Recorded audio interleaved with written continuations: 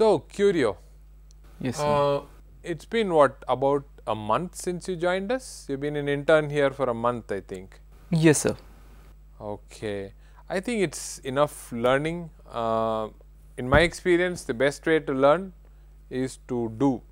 So, get on the customer's job itself. Okay, so here's what we will do. Think about the customer, our customer. Yes, sir. So I'm the customer and I'm a reputed customer. Yes, sir. Yes. Okay. Uh, now think about what problems that they're going through, the customer's problems. Okay. Uh, yes, sir. I am a customer and I have a good mobile, a reputed mobile. And yes, sir. The mobile is running very slow. Yes, sir. Hmm? Yes. Uh, think about a solution or solutions for that, for the problem. Yes, sir. Mm, mobile running slow, so I can use a processor which will make it run faster. Yes, sir. Okay. Uh, now, put it all into a presentation and you will present it to the customer. Yes, sir. Definitely. Sure, sir. Okay. Yes. Okay. Good luck with the presentation then yes. in, in a week's time. Yes, sir. Thank you. Okay. Bye. This is slide 1 the customer's problem. That is facing a slower mobile having a slower mobile.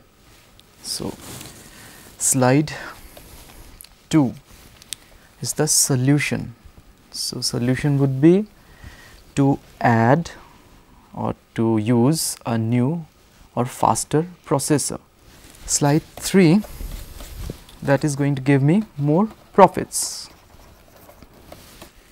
Well, that was quite simple. Hello, Mr. Customer. Uh, slide 1. Uh, we have the problem statement and we understand that the reputed mobile that you are using is running very slow. Slide 2. The solution is to use a faster processor which will ultimately increase the speed of the mobile.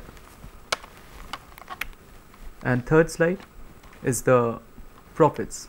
We'll get profits. Thank you. What? Is that all? Have you interviewed anyone? How do you know for sure? What do you mean slow? Do you know the cost of replacing a processor? What is the time frame for this project? Who will be in the team? What is your past experience in this area that you are the one who should be solving this problem? Have you done any other homework? Have you done a market survey? No, sir. Sorry, sir. We'll get back to you, sir.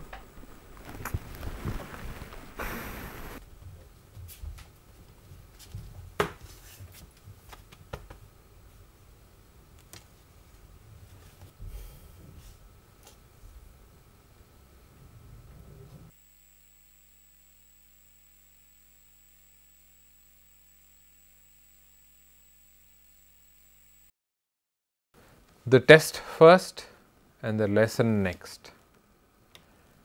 Your presentation wasn't so bad.